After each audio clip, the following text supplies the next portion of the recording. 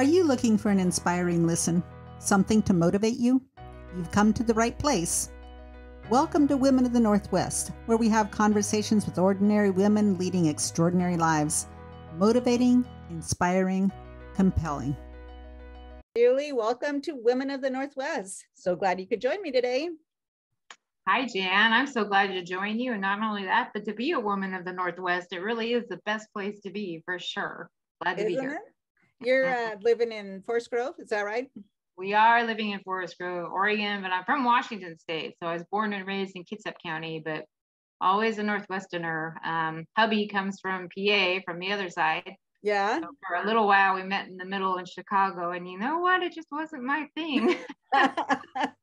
Especially with the weather, I was like, I was dying. It was horrible. He he he loves shoveling snow, fortunately, but not me. So anyway, we came back, and he's always loved it here too, because it's the only place I know of where the mountains meet the trees and meet the ocean all in one place, yeah. which is a love for all of those things for me. So I'm where I belong for sure. And- and Oregon's so um, it has such a variety of uh, places you can. It's a, a, few hours drive to go to the desert, even if you want to. So, or to yep. warmer places than where Astoria is. exactly right. Yeah, we have a great variety here. Yes, indeed. Did you have some sunshine today? Finally, I am. I've been so frustrated because I'm a, I'm a gardener, and these plants you know, usually I try my birthday's the end of April. So normally after my birthday, I try to get things planned. And it was like rain, rain, rain, rain, rain, rain, rain. And I was so frustrated. And so we got some sun and I got some things in. And I will admit I planted a little bit in the rain.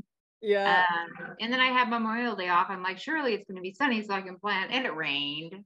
So I'm yeah. like, today it's sunny. And tonight I'm going to go out there and plant those flowers. and I need to get tomatoes still. So I'm excited to finally seeing some sun. And my dog as well. She's happily got her head stuck out the window right now, hoping that, you know, to run out and chase a squirrel. So sun is good. We like that in the Northwest. So, yeah. I mean, it's so rainy. My husband always plants uh, a huge field of corn and has provided corn for the Brownsmead corn feed every year, but it's just like it, he can't get it plowed. He's got it plowed once and then it doesn't dry out and then he's got to do it again. And it's just like, I don't know. And then he plants a huge, huge pumpkin patch for all the grade school kids to come and get pumpkins. Oh, cool. And so that could go a little later, but the corn, we're really pushing things here. I don't know. pushing, yeah. And I even heard it, um, it was a little blip on the news a, a, week or so ago when it said there's problems with the red clover, the, the cover crops of red clover, because there was so much, we had so much rain this year. And I'm just like, Yep, that's the Northwest. that's life. I know you got to love it. And then sometimes you just uh, don't love it quite as much. sometimes you got to just take a break and go somewhere else, but that's all right. that's all right, too. Well, you uh, pop up to Cannon Beach occasionally, too. Oh, as often as I can. I was actually, so actually, I was how I say, I was born and raised in Cannon Beach. I was not, but when, when I was a teenager, uh, when I was a kid, we used to take vacation every year to Lincoln City, which is where my mom grew up having vacations. And then when I was a teenager, we discovered the Cannon Beach Conference Center. Oh, and so our annual summer vacation became the Multnomah Week, which at the conference center, and we just love Cannon Beach. And my parents were incredibly smart and bought a very small lot on the north end. And it started with a trailer and we'd yeah. stay in a trailer. And then finally they built a little cabin and we'd stay in the it was like a studio. So literally it had living room with a fold down bed, you know, and a little yeah. kitchen room and we'd stay there. And now it's this monstrous house on the north end of Cannon Beach. And uh, yes, we are there as often as we as we can be. But it's a healing spot for both my husband and I and, and an amazing place. In fact, Cannon Beach plays quite a quite a point in our story, uh, both of our stories of finally landing together. So yeah. it's a special place. Yeah. So where'd you meet your husband? Oh, well, see, I met him in Cannon Beach, but it was at Ecola Bible School and it was over 30 years ago. and then Seriously, people are like, what? And I'm like, uh-huh. And I'll try to make a long story short. He, uh, you know, he he went to school there. I went to school there. We were friends.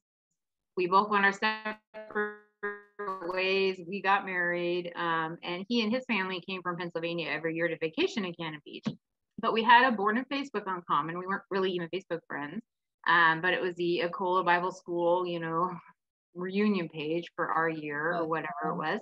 And I found out on there that his his wife had had a, had an accident, uh, bike accident. She had hit her mm. head on the pavement, um, hadn't woke up, had been transferred first to Astoria, of course, to Columbia, and then to Portland hospitals. And I just felt this really strong urge inside of me, you know, to message him and let him know I'm here because they're all of their support networks in Pennsylvania. And I'm like, this poor guy, you know. So I said, I'm here, I'm praying. I, I was living in Tigard at the time. So I said, I, I live in Tigard. You know, what can I do? And he said, let's meet for coffee on Saturday. I was like, mm-hmm. okay you know so i met him for coffee and we reconnected and um, i i walked with his family um, for the next seven weeks um, until she passed away unfortunately it was really it was really sad and really hard mm-hmm. Um, and and and that was tough not the result that any of us you know wanted but you know, we obviously stayed friends and we stayed connected and we visited over the next year, flying back and forth and mm-hmm. started dating and kind of one day looked at each other and said, you know what, maybe this wasn't such an accident after all. didn't want, certainly didn't want to lose our loved ones and that was hard on our kiddos, you know, but we really looked at each other and realized there was more, more in the plan than we had ever even thought possible. So mm-hmm. we, mm-hmm. um, yeah, so we've been back to North Beach on Cannon Beach several times. That's our special spot. And in one way, it's like coming full circle. So, That's awesome. Yeah. Yeah. Isn't it interesting just how our paths lead us? You know, you didn't do this, you might not have been there. You might not right. interacted right. here. And then the next thing you know, it's like 20 years later and something. yeah. Exactly. Kind of, yeah. Yeah. Yeah. Um, yeah. So now you're working at ARMS. So ARMS is Abuse Recovery Ministry Services, correct? Tell me about that.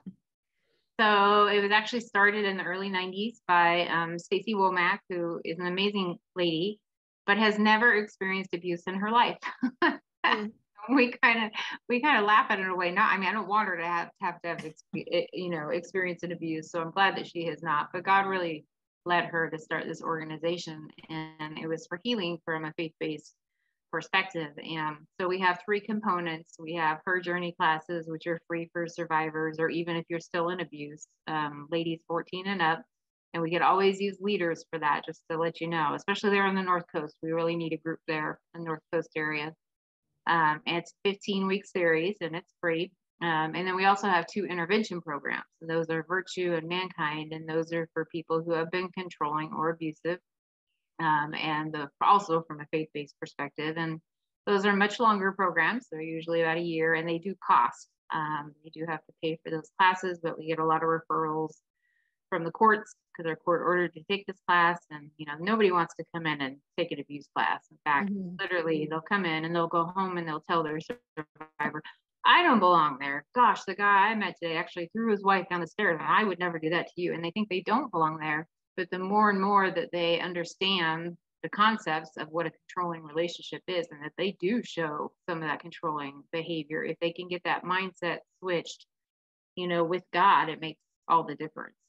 And so we have those three program components and then we uh, we stacy and i are also out and about quite a bit so we do a lot of teaching and training and education for pastors and conferences and leaders um, you know on the the true meaning of what submission means as an example mm-hmm. and headship and how god never intends abuse to be a bit you know around.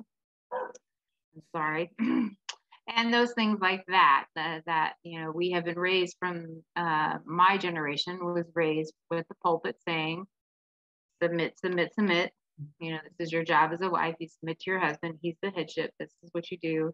You know oh are there problems? I still have over 50% of the women in my recovery groups say that they either went to a counselor or a pastor or a leader or maybe even the guy at the ymca somebody who's a leader in their life who had said you know the answer to this is counseling or maybe he didn't quite mean it that way or yeah, you, know, you need to do this or that it, you know or belittles it you know what you're saying or doesn't quite believe that that exactly. could happen mm-hmm. yeah and that actually creates secondary abuse you know for for the person who has struggled with it and been molded in their minds that they deserve this when they don't you know and that that's where their value value lies. So ARMS works really hard, you know, on that. There are a lot of good programs out there for it. Um, and I know that there's, you know, you have all kinds of listeners and maybe listeners even, you know, don't necessarily, you know, believe in God, but I've also met a lot of women that did believe in God and then left the church because of their church's response to that abuse, you know, in their life, which is just a really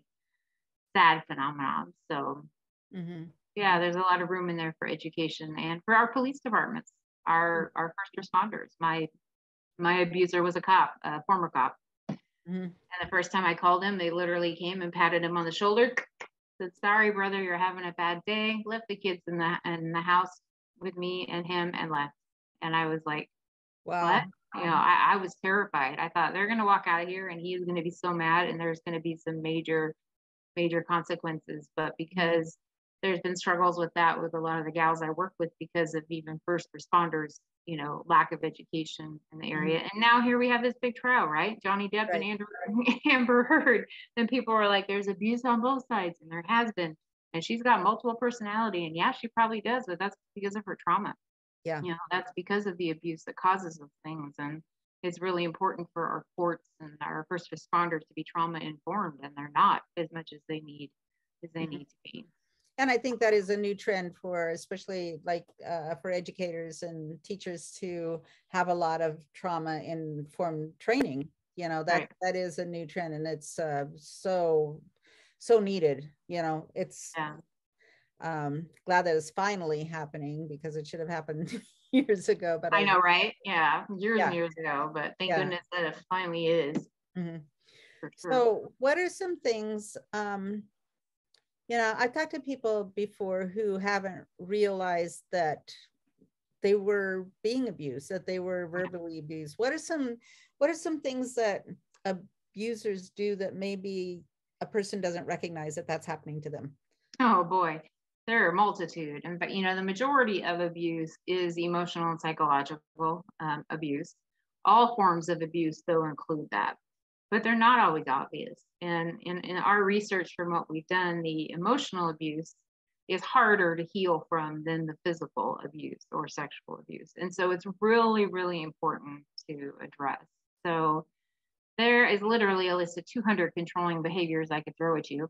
Um, and we all do controlling behaviors at times. There's mm-hmm. things on there like interrupting somebody is control a controlling behavior, slamming a door, giving somebody the silent treatment is a controlling behavior.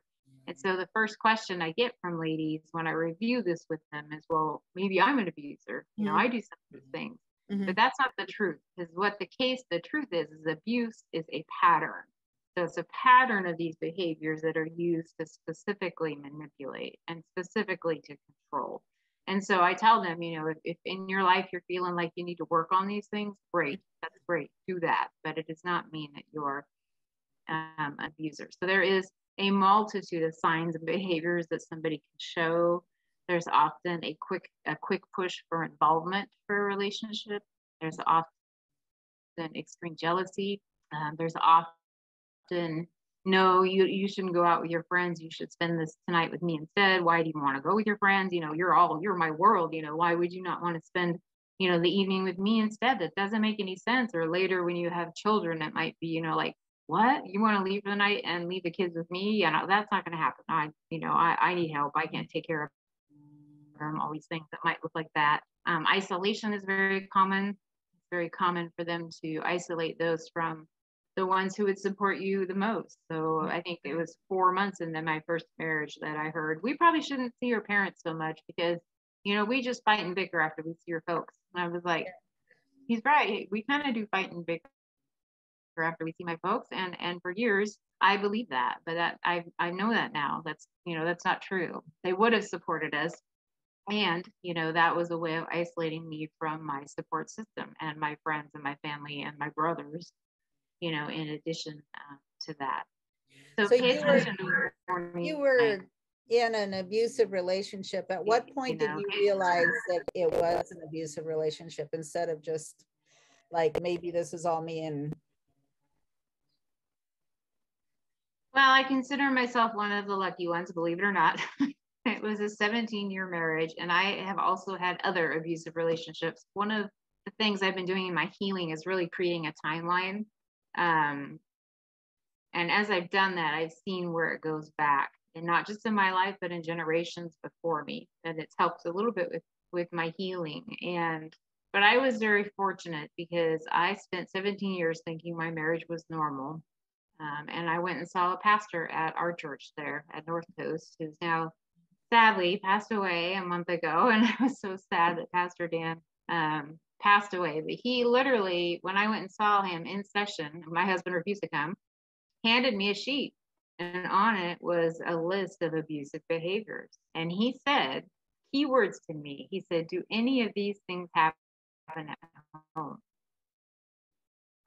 And I looked at him and I, and I laughed because that was my mm-hmm. defense mechanism at the time. I was like, What? Abu- what? You know? So I handed it back to him and he wouldn't take it back. Mm-hmm. I looked at it again and I had to admit and I had to nod my head and say, a lot of this stuff does happen several times a week. And I just started crying because, you know, he, he totally validated mm-hmm. that that's not normal, you know, that's not okay. So that was my first introduction to your marriage isn't just unhealthy and it isn't just a little bit toxic. your marriage yeah. is abusive, you know, mm-hmm. and it's hard to deal with. You know, nobody wants to sit there and say, I've been abused or I even, you know, even the words victim and survivor have a mentality with them that we don't want, right. you know, to say. So right. I, I, I just shake my head. You know, I know it was my time and God brought that to me, but it makes me sad because still probably 60% of the gals that I work with in group have had the opposite mm-hmm. where they've heard, you know, things like you should submit more, you should pray more, you should fast mm-hmm. more. You should. You should come you in for couples counseling, which we never recommend in, abuse. You know, uh, you should exactly, exactly. Yeah. Me, me, me, and not him, him, him, and that is so opposite of uh, you know that's the victim blaming. You know that we that we hear about.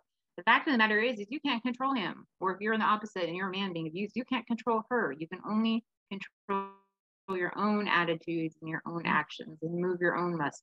You can't do it for somebody else. Yeah if you could, um, I don't know, this is probably a question that um, maybe can't be answered. I don't know.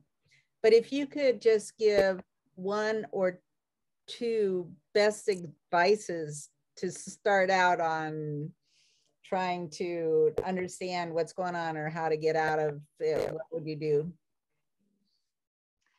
I would have to definitely send you to ARMS. Um, and it's just thing. abuse abuserecovery.org and there's a tab on there called resources and under those are going to be numerous articles like the warning signs of abuse uh, and a list of abusive checklists mm-hmm.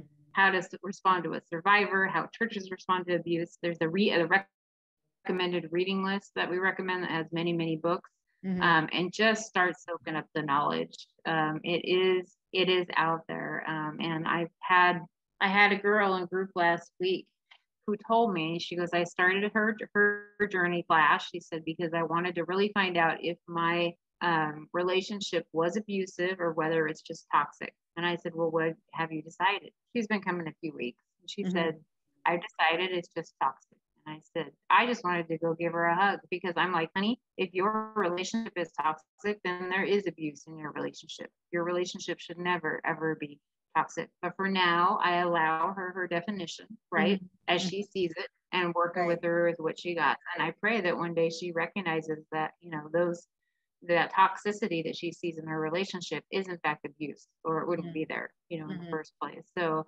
there is a lot of educational resources out there. I've even had girls come and take her journey groups that maybe didn't realize they were in abuse. I had one a couple weeks ago say, I came because I grew up in it and she goes i'm taking these classes and now i'm realizing that i'm married into it too and i had no idea you know and it was more of an emotional uh, psychological abuse and less mm-hmm. obvious abuse which is you know what we right call you know the, yeah which when it's obvious it's obvious but when it's not you know it's not um, and so the classes can be really helpful even just on an educational basis or if you know somebody that's in abuse or if you think you know somebody that's abuse if you know somebody in your family that maybe has shown some signs you know, or maybe every time you want to go out with them, their significant others like, no, I don't think so. You're not going anywhere, you know, or they're constantly texting while they're out and about when you're have right. they're having a good time with them. You know, those are signs of a potential unhealthy, and I would say more than toxic, you know, mm-hmm. relationship.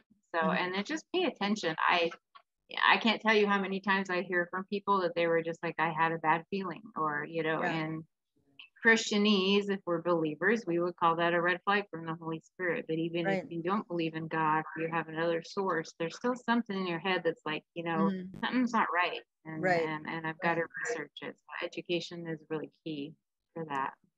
So you're an author. Tell me about um, what you've written. You've written a couple of books and published lately. Tell us about those. Sure, I'd love to. This is so really it was my next step in my healing, and I didn't realize that. But you know, part of what we do when we go in abuse is we lose our gifts and talents. We don't lose them as far as our abilities. We lose them as far as our ability to, to pursue them and to pursue them with passion. Um, and so, you know, I was always a writer from very, very young. And when I was able to get through my my healing process, God said, right.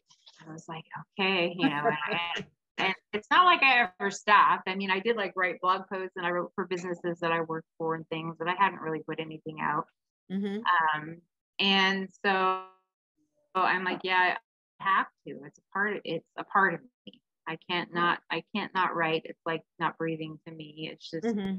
I've got to do it. And that's starters. Secondly, if I'm gonna do this, I want it to impact, right? I want it to make mm-hmm. a difference for people and to not right. just be a book that gets thrown into the world and then, you know, right. nobody's impacted by it. So at the same time, I became very interested in human trafficking because I was one of those people sadly, that thought that human trafficking only happened in third world countries. And boy, how wrong right. was I. Right. So I went out there. I went out into the streets and I researched it and I realized that, you know, nobody wakes up and says, I want to be a prostitute when I grow up. And nobody wakes up and says, I want to be a, a stripper, a stripper in a club. No, you've got a pimp or you've got a partner or a husband or somebody saying, you know, honey, you got the body and we need to pay the bills and you need to go do this right. and to make it happen. And that's human trafficking.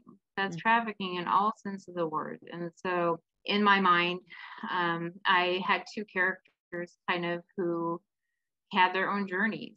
And so Innocent Lives is the first book out, and we're getting ready to change cover, so it's not going to look like this forever. But it's about Sienna and Jasmine, and in their case, they are um, kidnapped and trafficked and go two different directions. But in most cases, trafficking is not does not happen by kidnapping that we know of. In my mind, I still say, what about all these estranged children every year that are kidnapped? And I have to wonder about that stat. Um, mostly it happens through intimate partner relationships, what we call it. Uh, but in this case, the two girls go on very two different journeys. And I wanted to show the two different sides of trafficking because mm-hmm. one of these gals really grows to like her trafficker because mm-hmm. he is saving her from the big evil bad monster trafficker. And until she discovers a secret in his house and realizes that he's a monster too, she actually right. sees him as more as her salvation versus yeah. this other gal that lands more in a brothel situation. And for her, her owners provide drugs, you know, and that's her escape out of her reality is to, to use drugs. And she actually also develops the multiple personality, which they call disassociated disorder. Yeah. Disorder these days. So it's DID. And that's very common. And, right. And, and very, thank you. Very common in, in trauma, traumatic situations. So, so there'll be a book two and three coming up in that series. And then I'm also working on writing um, a real intense healing devotional because the programs that we have are great, but I found that they're just, they're not always enough. And yeah. some people need deeper and some people need to dig and some mm-hmm uh, you know, we have ladies that have been in her journey for years and years, and it's been wonderful and they love it. But it's time to take a step forward and to really dig in. Yeah. Uh, and then some people, of course, cannot ever heal to the point that they need to. And um, so I'm hopeful that this devotional, it's 52 weeks, but it addresses all these questions that we survivors have. Like, mm-hmm. you know, I did this. What if I did this? Or now he's lying about me, and everybody in the family believes him. Right. right. You know, what do I do? And I each situation I talk about, you know, scripture that mm-hmm. addresses that. There's a couple journaling questions, a little bit of an art activity. Um, and I need to work on finishing that up as well because I think it will be an important aspect for for people in their healing healing journey. So yeah, yeah, that's great. I'll put some uh, links in the show notes for all of that information for people too. We just got a couple of minutes left. I'm going to ask you what brings you the greatest joy? oh man, there's so many things. Well, God of course, but my children, uh, my husband, I have an amazing second husband. I'm so grateful for him, of course, and um, and my grandchild. So she just turned one a couple days ago. I'm a nana. I know. I I'm like, surely I'm too old to be a grandma. So you can't call me grandma. You know, we have to come up with something else, but she brings joy as well. And and you know, helping people out of the pit. You know, when you hear people that are like, you know, your story, like I gave my full story at Calvary McMinnville a weekend mm-hmm. And a half, two weeks ago or so, an hour and a half, Woo, way too long. And I still cut off a lot of it. Um, but having people say, I heard your story, I'm in your story, I've been in your yeah. story. What do I, I do now? You know, mm-hmm. and, and and and how do I get to where God can use me to and get past that healing? That's all extremely mm-hmm. rewarding mm-hmm. for sure. Mm-hmm. Yeah. Yeah. Most important aspect. Yeah. Making a difference for the kingdom. Yeah. Yeah. So okay. Well, Julie, thank you so much for being on here with me. I think this um you know, you might have helped some people today. I hope so. I hope so. And you know what? If you're hearing it and pat and you need to pass it on to someone else, please do it because that's that's how the word gets around. If you think somebody in your life might be in abuse or even, you know, a controlling relationship, you know, help them, listen, believe them, pass resources on as you can. Don't rescue them. Do not run and rescue them. Um, but you need to enable them to make their own good choices and, and provide them with good information. Right. And I think uh, that comes with the more that we know, the more we're able to help others too, or at least lead them to the right places. Right. Hindsight is 2020, right? Right. Exactly. if I'd known all this when I was 15, I know, right? right. Right.